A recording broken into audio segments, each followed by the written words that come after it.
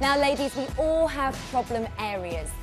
Do not get a heavy foundation and apply it all over the face to cover those areas. What you should do is take a beautiful, lightweight liquid foundation, start from the centre of the face and buff it in, and then we're going to use a concealer to cover those problem areas. Even though we want this beautiful glow, we might not want it everywhere. So take a translucent powder and apply it on the T-zone to take away any excess shine.